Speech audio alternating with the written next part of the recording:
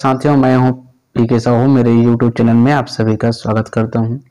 तो साथियों फाइनली बहुत ही बिग खबर है, बहुत ही बड़ी खबर है और बहुत ही खुशखबरी की बात है कि इस बीच जब सबका मन उदास हो गया था और इस बीच में बहुत सारे लोगों ने बहुत मेहनत भी किए उस बीच बहुत अच्छी खबर आई है और आपको मैं दिखा देता हूँ खबर क्या है। सबसे नीचे में आप जाएँगे तो यहाँ पर आप देखिए यहाँ पर आप देख सकते हैं, व्याख्याता पद पर सीधी भर्ती के लिए दस्तावेज़ सत्यापन हेतु चतुर्थ पूरक सूची।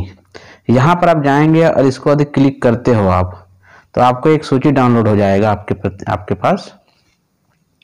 इस प्रकार से ये देखिए, इसको आप डाउनलोड करेंगे।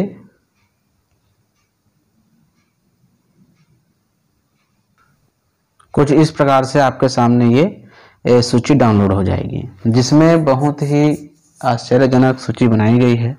अब इसे मैं ज़्यादा कुछ बोलना नहीं चाहूँगा, इसमें नाम वगैरह सब दे देना था ना डेट ऑफ़ बर्थ दे देना था, सारी चीज़ें जो पहले की तरह था, उस प्रकार दी था।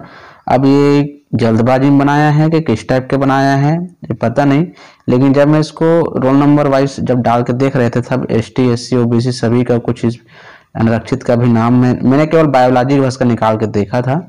कि उनमें अनरक्षित बस का नाम है ओबीसी का भी नाम है एसटी का भी है, व का भी है। ठीक है, सभी का है तो सभी आप अपना देख सकते हैं।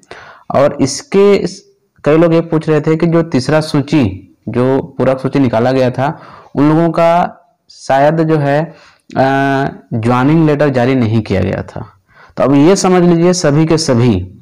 इसको आप निकाल कर देख लेते हैं कि यदि सभी में, जैसे कि मैंने बोला उदाहरण के लिए बायोलॉजी का। बायोलॉजी में आपका ओबीसी का भी बुलाया गया है, अनरक्षित का भी बुलाया गया है एसटी का भी अब एससी का।